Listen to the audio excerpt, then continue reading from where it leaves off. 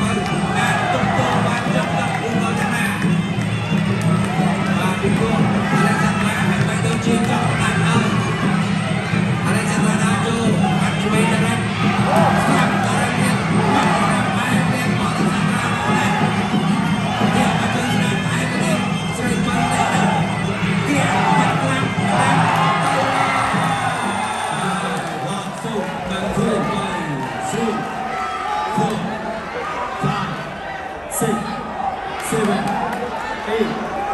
បាទហើយបាទមិនអាចបន្តមកប្រគួតបានទៀតទេបាទដូច្នេះបាទគឺលទ្ធផលនេះគឺបាទសពសឹកបានសម្រេចហើយបាទកីឡាកាត់នេះបារាំងអតីតសាត្រា